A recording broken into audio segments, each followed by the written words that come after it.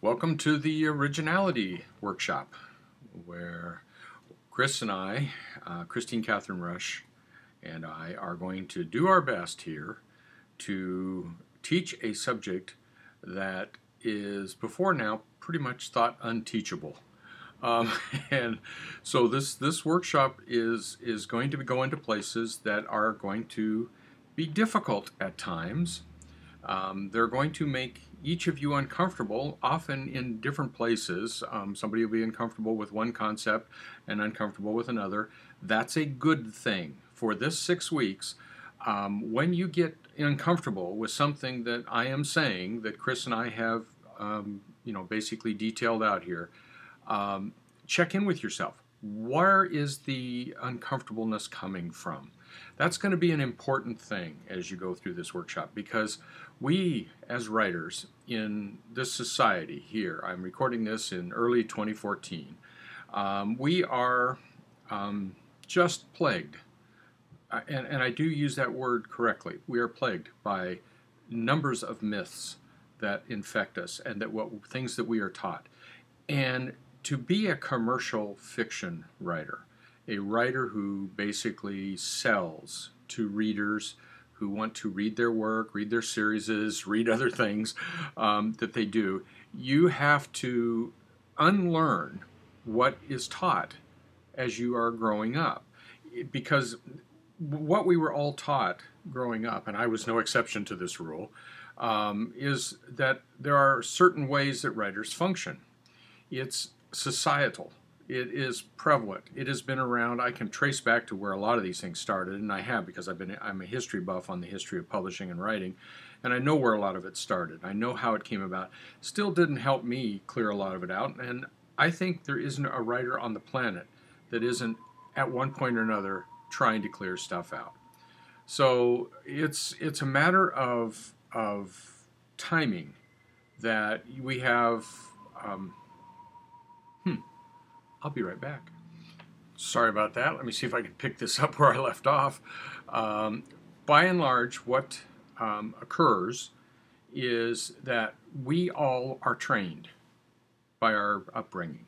There is no exceptions to that rule. Nobody, nobody was trained in the techniques and the abilities and what is needed to be a long term professional fiction writer. We're just not.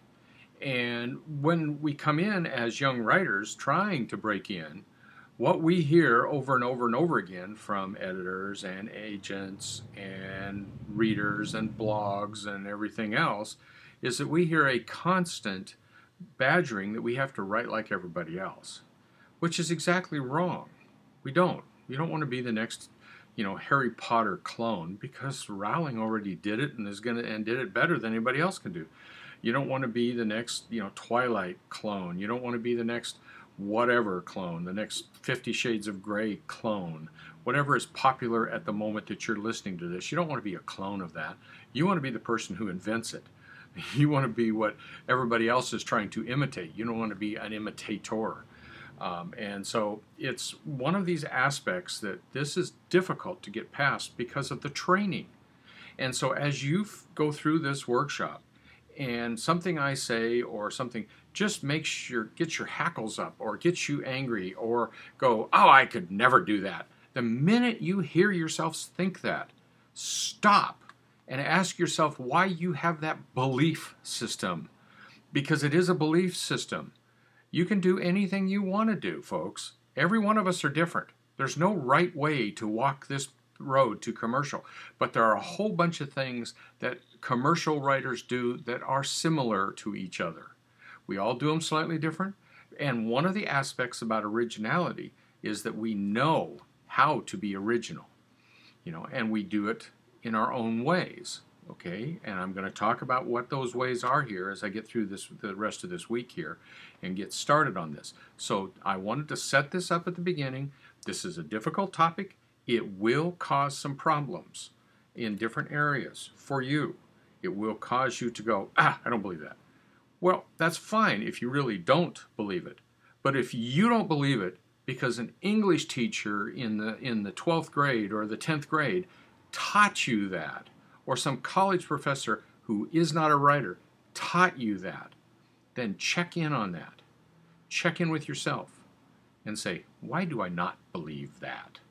What facts do I have and evidence that I don't believe that? Or is it just a belief system back here that is not based in any kind of facts? It's going to be fun. This will be an interesting workshop. Um, I'm, I'm, Chris and I have had a, a, a blast putting it together and some pretty good arguments. So this will come through, I'm sure. Hang on, here we go.